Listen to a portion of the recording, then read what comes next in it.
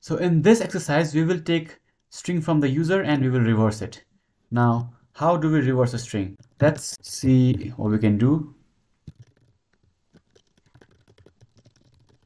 If there is an original string that is called hello world, right? And we can easily reverse it in Python like this.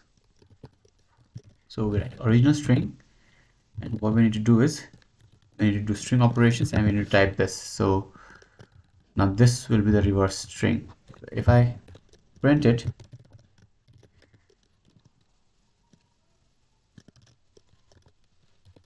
and if I try to run this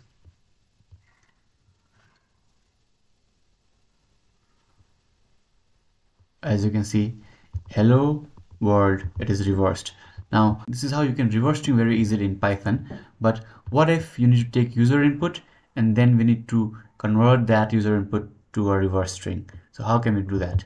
Now, as an exercise, I'll leave it up to you for this exercise to probably remember what you had learned in previous exercises and take the input from user and then convert it using a function and try it. And if you have any questions, let me know in the comments below.